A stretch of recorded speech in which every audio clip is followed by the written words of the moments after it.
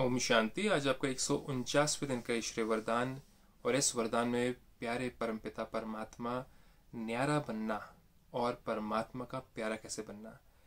देखा जाए तो अगर हम योगी बनते हैं तो हमारा सारा फोकस परमात्मा पिता के ऊपर रहता है, जिसके कारण हमारी जो मन की जो तार है, आत्मा की जो तार है, सूक्ष्म संकल्पों की तार परमात्मा के साथ में जुड़ी रहती है परमधाम में। लेकिन वो चीज़ सदा के लिए रहे, उसके लिए परमात्मा कुछ युक्तियाँ बताते हैं। तो इसके बार आज हमें न्यारापन कैसे हो? वो भी सिर्फ़ बाहरी दिखावे वाला नहीं, लेकिन अंदर से हो। तो देखिए आज बाबा कहते क्या है इस न्यारेपन के बारे में?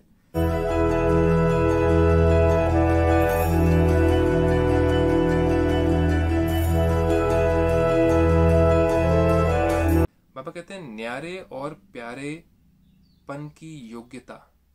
न्यारे और प्यारे पन की योग्यता।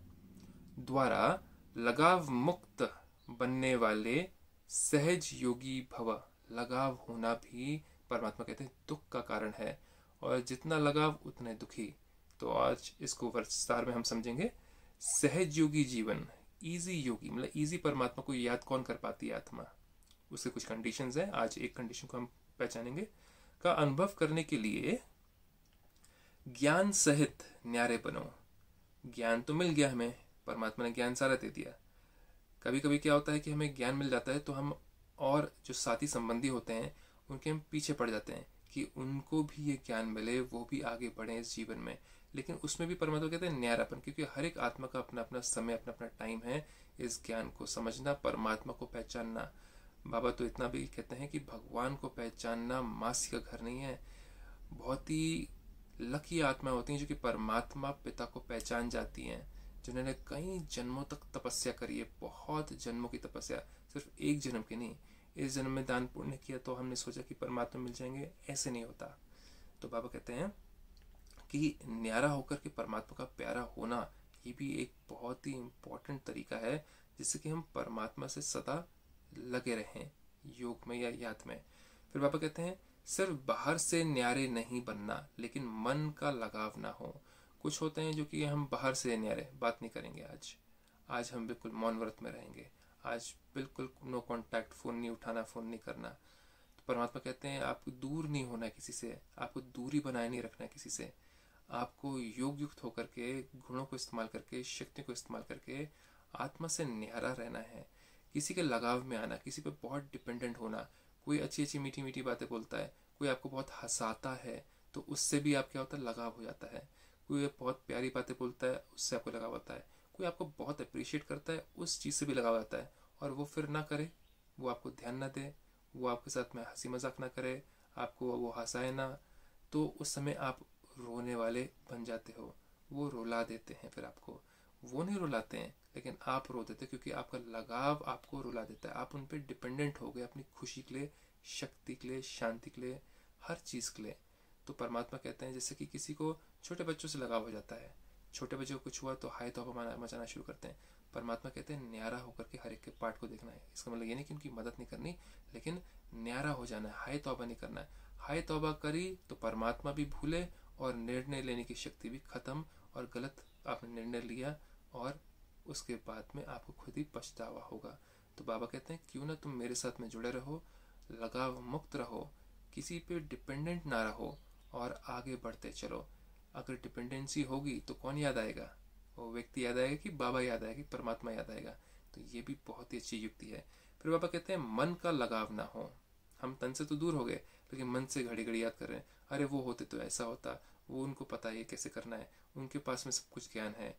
वही से ठीक कर सकते हैं। तो परमात्मा कहते हैं, फिर आप कब आगे बढ़ोगे? आप कब आगे बढ़ करके अपने अंदर वो संस्कार पैदा करोगे? क्योंकि राजा को प्रजा चलाने के लिए सारी राजधानी चलाना आना चाहिए। राजा को तो ये भी पता होना चाहिए कि चप्पल कैसे बनती है, जूते कैसे बनते हैं। ये भी अगर पता होना राजा को तो एक दिन ऐसी नौबत ना आ जाए कि राजा को खुद ही बनाना शुरू करना पड़ता है वो सब कुछ। तो परमात्मा कहते हैं कि एक राजा जो होता है, उसको हर चीज़ का ज्ञान होता है। तो आपको क्या चीज़ किसी पे डिपेंडेंसी है जिस कारण से आप आगे नहीं बढ़ पा रहे हैं, उसको चेक करिएगा। क्योंकि वही लगाव आपको आगे बढ़ने नहीं दे रहा है, चाहे वो कोई भी फ़ील्ड हो, चाहे स्पिरिचुअल फ़ील्ड हो, चाहे दुनियावी फ़ील्ड हो। फिर बाबा कहते हैं, जितना जो न्यारा बनता, उतना प्यारा अवश्य बन जाता है। किसका प्यारा? परमात्मा का, क्योंकि वो कोई पाप कर्म नहीं करता, वो लड़ाई झगड़े नहीं करता तू तू मैं मैं नहीं करता। खींचातानी नहीं होती किसी संबंध में रिलेशनशिप में, या किसी नौकरी में, या किसी बिज़नेस में। तो हम किसी पर भी, किसी से भी लगाव में ना फंसे किसी भी चीज़ का। और क्या लगाव होता है हमें? हमें लगाव होता है, अपनी ही उपलब्धियों से लगाव होता है।